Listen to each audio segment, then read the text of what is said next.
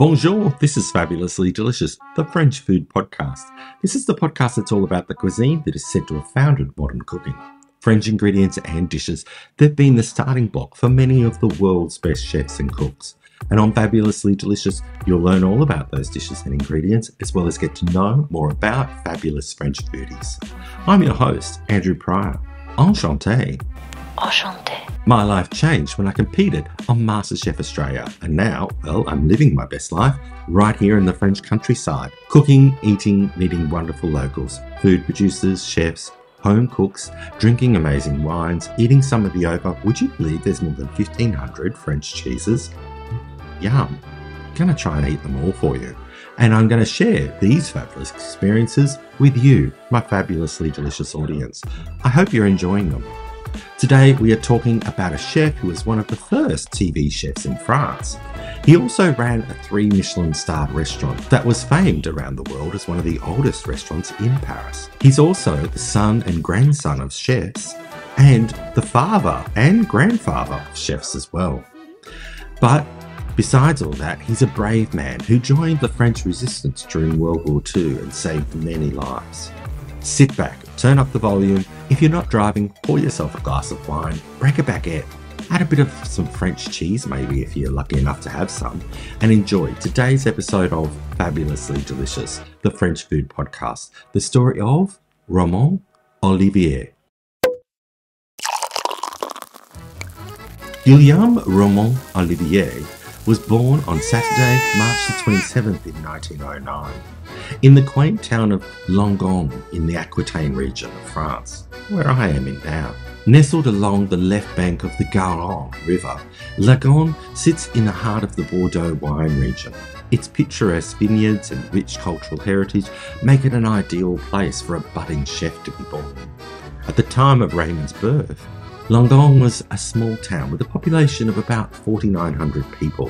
Today, it's grown modestly and it has now around 7,400 residents. The town's close connection to Bordeaux wines and French culinary traditions no doubt played a part in the shaping of young Raymond's love for the cuisine. Raymond was born into a family with cooking in its veins. His father, Louis, and his grandfather were both chefs but it was his maternal grandmother who truly initiated him into the world of cooking as a young boy. Raymond would spend hours watching her prepare meals, learning the techniques and the flavours that would lay the foundation for his career. He was captivated by the way she transformed simple ingredients into delicious dishes, igniting a spark that would grow into a lifelong passion. Ramon's father, Louis, had his own illustrious culinary background. Originally from Mallorca, the largest island off of Spain's Mediterranean coast, Louis had moved to France and built a reputable career as a chef. His skills were such that he was once employed by none other than Auguste Escoffier, the legendary French chef and restaurateur, at Savoy in London. Escoffier's influence on Louis would eventually trickle down to Raymond, instilling in him a sense of pride and discipline in the culinary arts. Later, Louis would become a starred chef in his own right at the Lion d'Or Hotel in Langon, a role that would further inspire Raymond. Now, I said Raymond there, and it's Ramond, which of course is the French way to pronounce Raymond, but my father's name was Raymond. Hence the reason why I'm probably going to say a few times in this podcast, Raymond. I'm sorry, especially to all those French people for mispronunciation, mispronouncing, for not getting his right, for not saying his name correctly if I happen to say Raymond instead of Ramon. But please forgive me. At the age of 15, Ramon formally began his journey into the culinary world. He started as an apprentice under his father learning the basics of cooking and working hard to develop skills. And after honing his abilities in his father's kitchen, he decided to broaden his training by enrolling in the prestigious Le Cordon Bleu cooking school in Paris. There he studied under Henri Paul Pellaprat, one of the founders of the original Le Cordon Bleu. Pellaprat was known for his rigorous approach to French cooking, and his mentorship helped solidify Ramon's dedication to his craft. Ramon's time at Le Cordon Bleu was transformative. He not only learned the technical, the technical aspects of cooking, but also developed an understanding of the artistry involved in creating exceptional dishes. This experience instilled in him a lifelong commitment to perfection, a trait that would later define his career. Following his training, he joined the Parisian restaurant Le Grand Chambord, where he learned about the brigades of the kitchen. This system, perfected by Escoffier, organised the kitchen staff into specialised stations, each with a specific role, allowing a greater efficiency and discipline. This structure deeply influenced Ramon and confirmed his love for the profession. On Saturday, October the 31st in 1939, back in Langon, Ramon married Suzanne Gisler. Their marriage marked a new chapter in Ramon's life as he balanced his personal life with his burgeoning career. And in 1932, Suzanne gave birth to their first son, Michel. However, Ramon and Suzanne would eventually divorce, and Michel grew up in Langon, raised by his grandparents after his parents separated.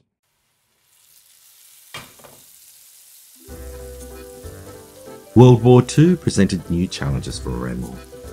Unable to fight due to health issues, he found himself managing a hotel in Vidauban, in the Var region of France. But Ramon's role during the war went on far beyond running a hotel. He became involved in the French resistance, organising a cell and using the hotel to shelter Allied airmen who had been shot down during the bombing missions. At one point, he harboured 11 American bomber crew members, risking his life to protect them until the liberation of France. For this courage and his contributions to the resistance, Ramon was later decorated by George Dwight Eisenhower, a recognition that he held dear for the rest of his life. After the war, Ramon's career took a monumental turn. In 1948, he purchased Le Grand Véfour, a historic restaurant located in Paris's Palais Royal. The restaurant was first opened in 1784 and had a storied history as one of Paris's earliest grand dining establishments.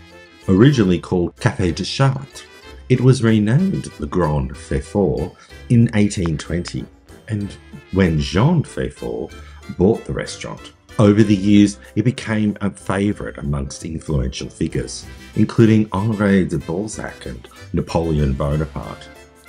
The restaurant was also known for its culinary innovations, including the creation of the sauce mornay, a creamy sauce that became a staple in French cuisine and seen, of course, on numerous menus around the world covered over lobsters. The restaurant was closed from 1905 until 1947, when in 1948 Raymond purchased it.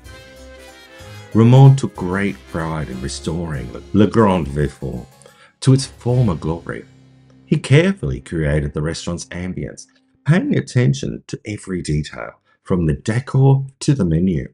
Six years after acquiring the restaurant, Ramon's hard work was rewarded when the restaurant received three Michelin stars, an exceptional achievement. At the time, only a few restaurants in Paris held this prestigious rating, and it solidified Ramon's reputation as a master chef. Under his leadership, the restaurant attracted a star studded clientele. It became a gathering place for the elite, with patrons such as Winston Churchill, Andre Malraux, Albert Camus, George Simenon, Henry Ford, David Rockefeller, Jean Cocteau, who even designed the restaurant's menus, and Colette, the celebrated French author, not the Australian singer. Although I didn't ask Colette, the Australian singer, if she dined there. Maybe I should. If you're listening, Colette, please let me know. I'm sure you're a lover of French food and have been to Paris, right? Hmm. You can ring my bell anytime, Colette. Royalty also frequented Le Grand Véfour, with visitors like Aga Khan, Prince Rainier, and Princess Grace of Monaco. Ramon's influence extended beyond the kitchen as he turned Le Grand Véfour into a cultural institution that embodied the elegance and sophistication of French cuisine. Bonjour, bonsoir, fabulous listeners. If you're enjoying the delicious journey with us on Fabulously Delicious, the French Food Podcast, I've got a small favour to ask you that will make a huge difference to the podcast. please take a moment to rate and review the podcast wherever it is that you're tuning in, whether you're watching on YouTube or listening wherever you listen to podcasts. Especially if you're on Apple Podcast, your five star rating and fabulous review, of course, will help bring even more food lovers into our French culinary adventures. Merci beaucoup for your support and for being part of this amazing community, my fabulously delicious audience.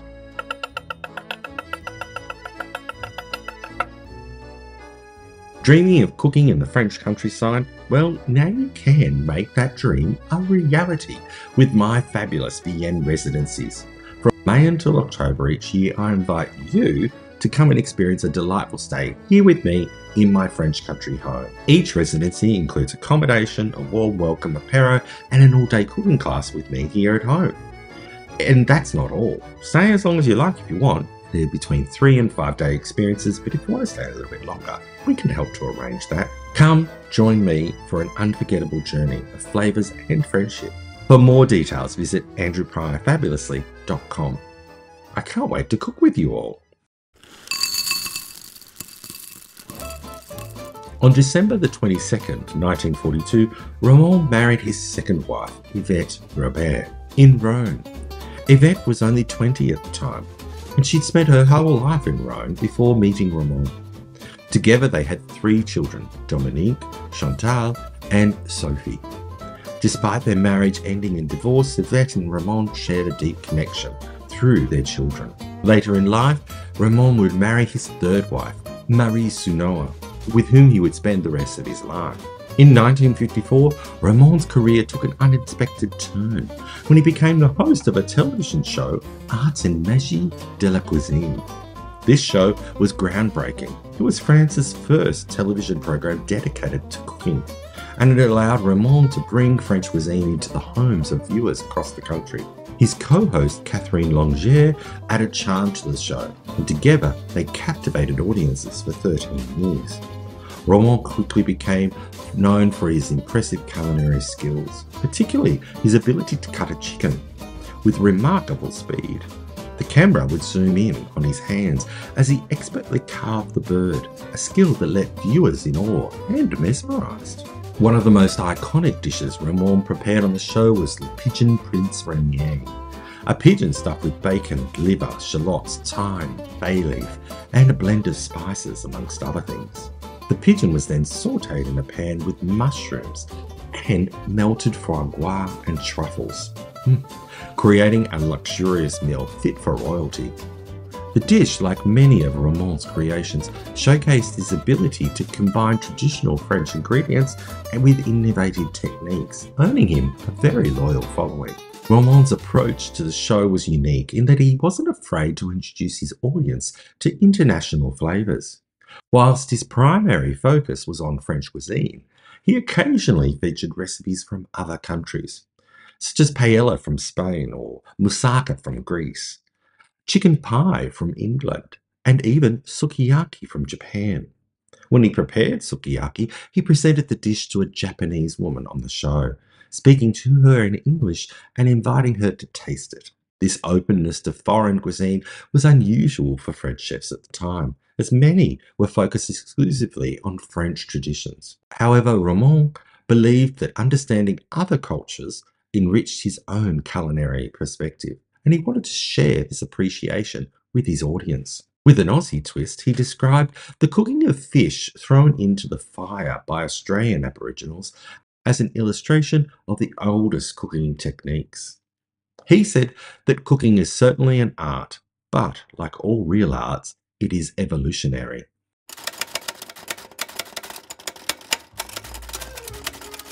Beyond his television career, Ramon was also a prolific author, sharing his expertise with readers around the world.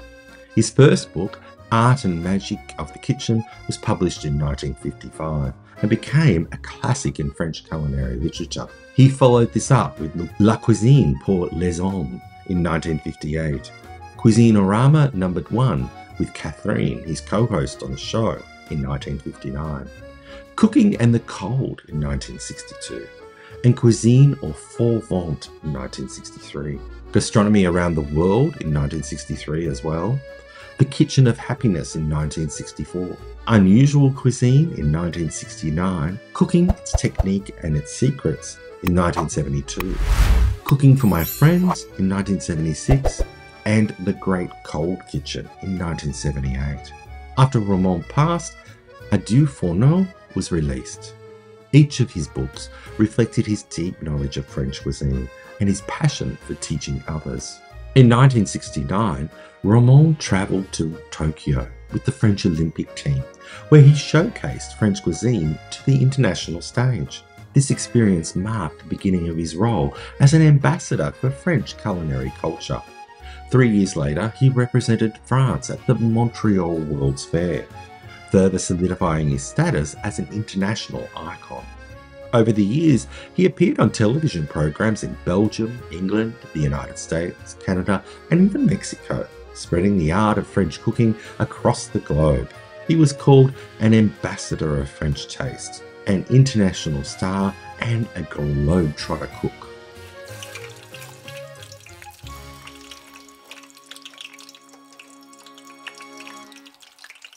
In 1976, Ramon was invited to participate in the Judgment of Paris, a now famous wine competition organised by an American, Patricia Gallagher, and Steven Spurrier, an English wine merchant, to celebrate the United States bicentennial. The blind tasting involved comparing French wines with those from California.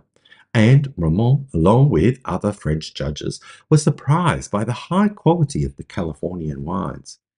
Of the wines he rated, only one French one shared his top three spots, underscoring the global rise of wine appreciation and setting the stage for a new era in wine culture. A surprise for many in France was that a Californian wine from the Napa Valley was voted by the French tasters as the number one wine. Tragedy struck on Friday the 23rd of December 1983 at 10:30 p.m.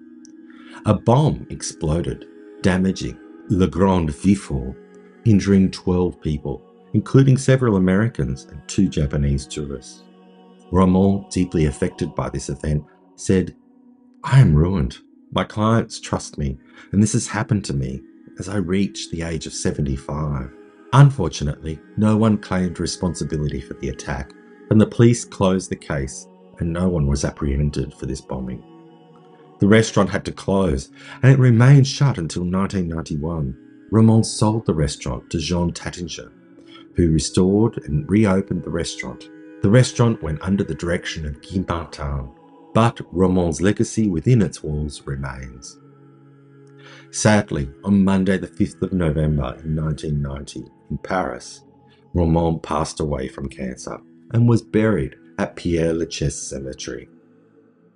Ramon's third wife, Marie, passed away in 2019, and she is now buried with a beloved husband, Ramon.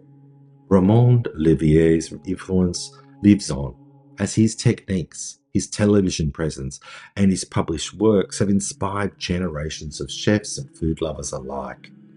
His vision of French cuisine, paired with a genuine curiosity about world favours, has left a lasting impression on the culinary arts and French cuisine. Jean Pierre Coffe, a well known French culinary figure, once said about Ramon Ramon Olivier was a master of his art, a great chef who knew how to elevate simple ingredients into culinary masterpieces. And Paul Bocuse, a legendary chef in his own right, said Ramon Olivier was not just a chef, he was a pioneer who opened the door for many of us in the world of French cuisine. His co host, Catherine, said Ramon had a unique ability to connect with his audience. He brought French cooking into the homes of millions with his charm and his skill.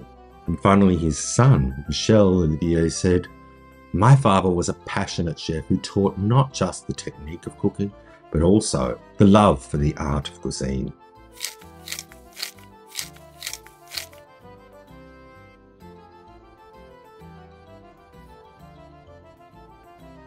Planning a trip to Paris, or maybe you're one of the lucky ones who get to live in Paris and call it home. I've had the joy of living in Paris, and let's just say, pretty much eaten my way through Paris for you. That's why, with all this delicious experience, I knew that I had to share it with you, my fabulously delicious audience. Because, well, if you're here listening, you probably love French cuisine, probably coming to Paris or living there, and want to taste what's good in cuisine in Paris. That's why I created my first book, Paris, a fabulous food guide to the world's most delicious city. In it, you'll find my top picks for the best boulangeries, cafes, chocolate shops, fromageries, patisseries, wine bars, mm, so much more. Whether you're planning your trip or you're already wandering around Paris this year, this guide is packed with the most up to date recommendations to help you eat and explore like a local. Get your copy at andrewpriorfabulously.com. And yes, I offer a signed and gift package version for those that want to give it as a gift to somebody. You can also find it on Amazon, and there's a Kindle version so you can get instant access. Bon voyage and happy eating your way through Paris through my book, Paris, a fabulous food guide to the world's most delicious city. Are you following along with me on Instagram? If you're not, you're missing out on a treasure trove of fabulous content about French food and life here in France. Join our fabulously delicious community and dive into the deeper flavours, stories, and experiences that make French cuisine so special. Follow me now at Andrew Prior Fabulously on Instagram and stay connected, never miss out on a delicious update. Let's explore the culinary wonders of France together. That's it for another episode of season 4 of Fabulously Delicious. Had you heard of Raymond Olivier before? What's the most fabulous thing that you learned from today's episode? Let me know by contacting me via Instagram. Slide into my DMs at Andrew Prior Fabulously, or you can email me on contact at andrewpriorfabulously.com. I'd love to chat with you all. We could just have a chat about French chefs if you like, or French food. I love talking to people about food, and especially French food. Thank you for listening, and remember, you know what my motto is whatever you do, do it fabulously. Merci beaucoup. Bon app. Oh, don't forget, buy the book, Paris, a fabulous food guide to the world's most delicious city. Available where? AndrewPriorFabulously.com or Amazon.